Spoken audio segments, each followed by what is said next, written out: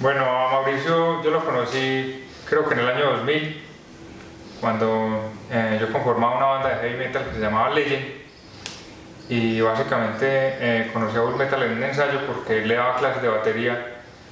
a, en ese tiempo a Terrible, que era como el baterista. Recuerdo mucho que lo conocí porque una vez pues llegué tarde a un ensayo y, y Bull Metal estaba sobre la batería pues tocando, incluso le estaba enseñando una canción de Iron Maiden que se llama The Trooper a César y entonces ese fue como la primer, el primer encuentro que, que yo tuve, me presentaron pues a Mauricio.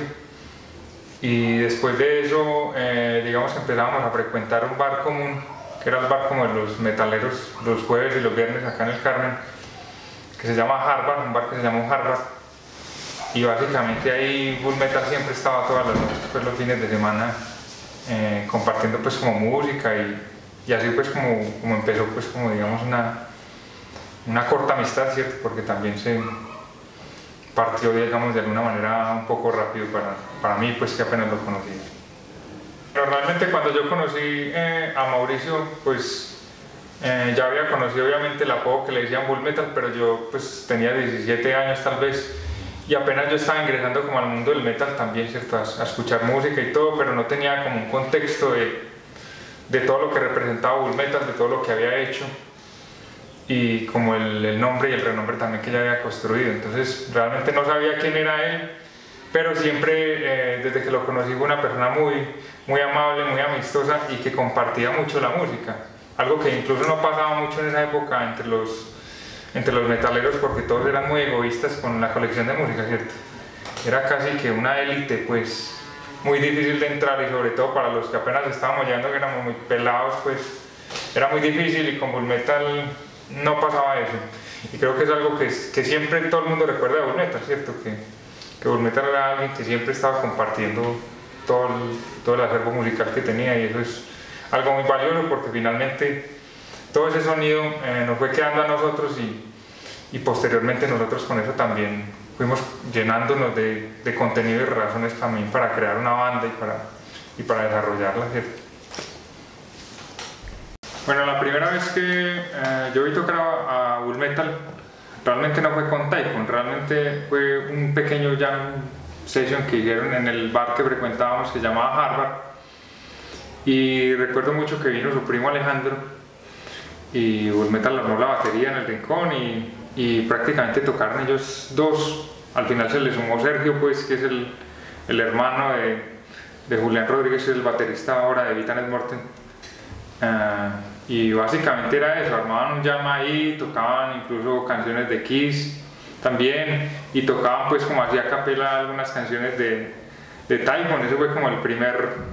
digamos, la primera presentación oficial, pero era de una manera más para el grupo de,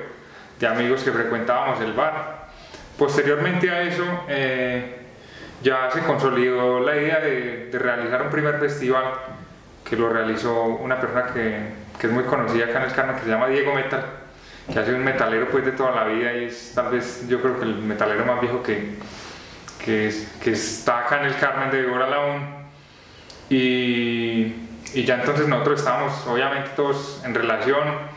y Bull Metal eh, tenía la idea pues como de hacer obviamente el concierto de, de Taipón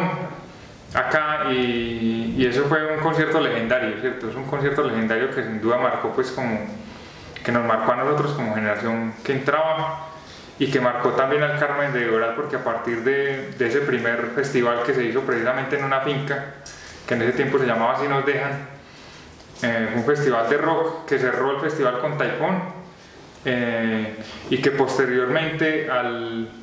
al, año, a los dos años siguientes, eh, este festival, digamos, lo que fue la semilla para el festival que nosotros conocemos hoy como Vibra el Rock. Entonces, desde ahí también hay, digamos, un, un punto muy importante eh, que marcó, digamos, lo Metal y Taipón también para, para la construcción de lo que sería el Festival Vibra el Rock. El último momento, o los últimos tiempos que, que, yo compartí con Mauricio los puedo relacionar mucho con los acompañamientos que hacía los ensayos de Vitanes Morten. Eh, de hecho, pues en ese, en, digámoslo, en el último mes, eh, Mauricio había empezado a hacer las traducciones de las letras de Vitanes Morten al inglés. De hecho, me entregó pues como unas primeros cinco canciones traducidas Y una semana antes de, nosotros darnos cuenta que Mauricio ya se había muerto, eh, pues él me había dicho que pasara, digamos, algún día, que pasara en la mañana antes de ir al ensayo. Nosotros ensayábamos pues en la mañana, a las 9 de la mañana, todos los días. Y, yo pasé pues a la casa de él como de costumbre, pero, pero tocaba la puerta y nunca, digamos que nunca, nunca me abrieron, ¿cierto? Eso pasó así alrededor de tres días, hasta que al día viernes, y mal no estoy, yo estaba pues con, mi compañera Cristina, que, que, ha sido mi compañera de toda la vida y que además fue una amiga íntima de Mauricio.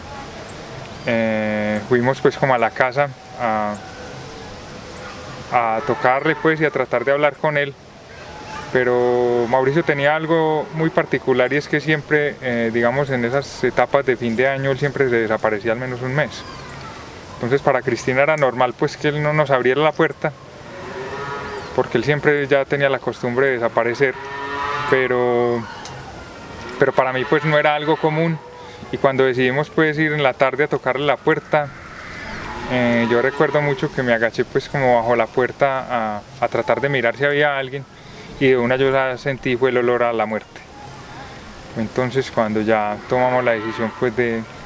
de ir al, a la policía y a los bomberos pues para, para que abrieran la puerta y, y para, para revisar a ver qué había pasado. También recuerdo que, que posterior a eso yo me, me, asomé pues como por, el, por la pared encima y ya fue donde vi los gallinazos sobre el techo, entonces casi que era una confirmación de que Mauricio ya estaba muerto. Y fue un poco difícil entrar porque porque ya era una hora tarde de la noche, digámoslo, empezamos más o menos a las 4 y 30, nos dimos cuenta, pero ya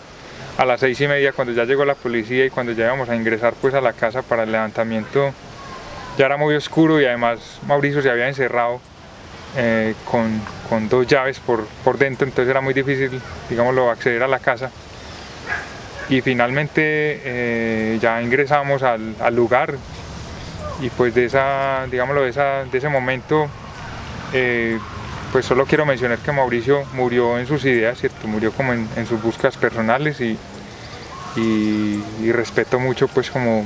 como la idea que él tenía de la vida, de la muerte, ¿cierto? De tener también control sobre la vida